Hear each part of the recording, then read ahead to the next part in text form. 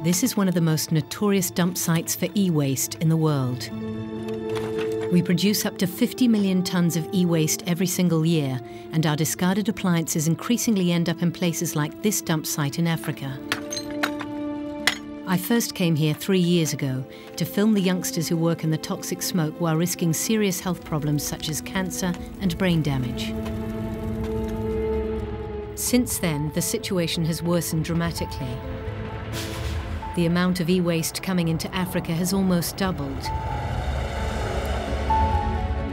And also in Europe, South America and Asia, the discarded symbols of our modern lifestyle are corroding landscapes and poisoning the soil, water and air. It's a crime. I mean, this is a crime of mammoth proportions. E-waste trafficking is huge and said to be bigger than the drugs trade.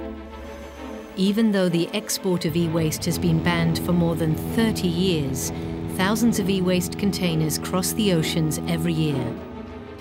And the toxic tide is set to rise even further because in spite of the crisis, the sale of electronics is booming and emerging markets are coming on board. All contribute to a growing mountain of e-waste to which we can no longer turn a blind eye. It's like a doctor looking at a patient who's bleeding profusely and saying, oh, it's not so bad. When I hear people like that, I say, just go.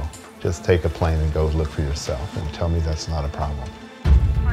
All over the world, law enforcement, environmental activists, customs officials, and undercover investigators are fighting to stop the traffickers.